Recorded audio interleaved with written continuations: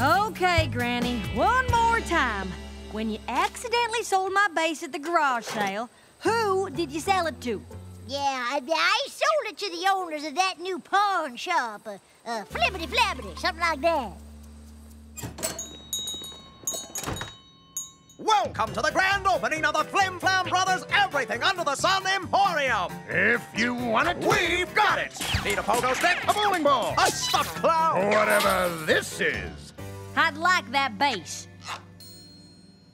I can give you this bass for a non-negotiable price of $1,000. Why, you only paid Granny Smith $2 for it. Yes, well, we have to cover our overhead and transportation costs. Listen, Granny never should have sold my bass. I'll give you the $2 back and we'll call it even. Yes! Uh-huh. Likely story. It is. That's my bass. And can you prove that this is in fact your bass? Her initials are monogrammed right on the strap. That could mean anything. It could stand for Aardvark Jr. Animal Jokers. or Animal Jane. Why, I'll bet you don't even play the bass, Applejack. If that is your real name. Of course that's her real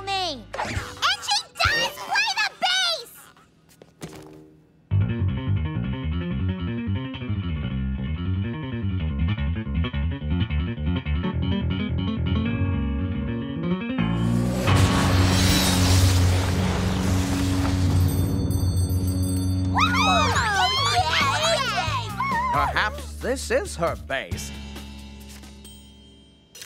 But there are still the transportation costs and overhead. Don't forget the stocking fees. Wouldn't dream of it, brother.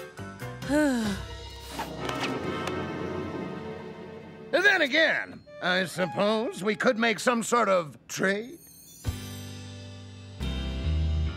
Come on down to the grand opening of the Flim Flam Brothers Everything Under the Sun Emporium.